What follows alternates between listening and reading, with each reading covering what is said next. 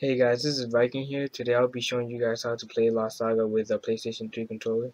Since a lot of you guys have been requesting this, there are going to be a lot of cuts to the video because I might mess up or even add something that I forgot to mention. But anyways, let's get started and I hope you guys find this video helpful. If you guys don't already have a controller to use, uh, I would recommend the PlayStation 3 Afterglow controller because it's not like the Xbox or the regular PlayStation controllers that they're kind of glitchy with Lost Saga. This PlayStation 3 Afterglow controller works perfectly fine and it's like $30 in GameStop so it's it's a pretty good price and it lasts a really long time and it's just the best. I'm gonna show you guys how to configure it and use it in Lost Saga in a bit. Alright guys, once you guys have your controller plugged in, you want to go uh, check the settings you by doing that you go to control panel you go to hardware and sound. By the way I have Windows 8 device and printers. And let me plug in mine real quick so I can find oh. and there it is pops up right away uh, you want to right click it and hit game controller settings the status should be okay hit properties. Over here you want to make sure that all your button works. Uh, you should be hitting each button to see what button is what number because it's going to be important when you apply it to Lost Saga.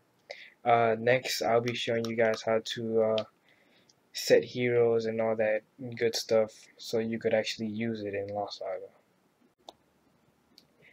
Once you guys make sure that uh, your controller is working fine and everything, you want to start up Lost Saga.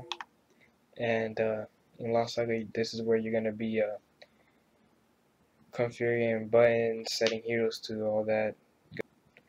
Um, I'm gonna, I don't even know if I'm gonna go to my or Plaza or whatever, but you, oh, you guys will have to have your controller plugged in and on before starting Lost Saga or else it will not work. You guys have to have your controller on and plugged in before you start Lost Saga. So uh, let me go to my HQ, see if it's really working and yep it is. As you can see it says you can't switch. Right now I'm using my controller. Uh, once you guys have the controller plugged in you could uh, go to options I mean settings. Then over here says control pad.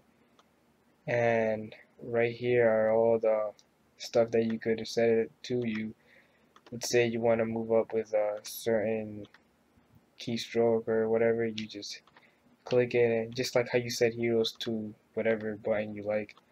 Um, there's another way to configure buttons uh, manually without using Lost Saga. By doing that you go to uh, let's go to you gotta go to your Lost Saga folder. And what the alright so you go to this folder called save. You go to your IGN folder and you where it says um, custom joy key you right click that you want to open it with notepad. And these right here these are uh, keystrokes uh, that are on your controller. Their their value are special. Each value is a certain keystroke. And for me to um, I don't use uh, one button to use cloak skill, helm skill, armor skill, weapon skill.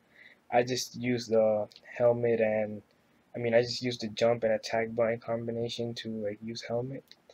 Uh, so I just took it out by putting some random number because 200 is as you guys can see like cloak skill is it's not assigned for me.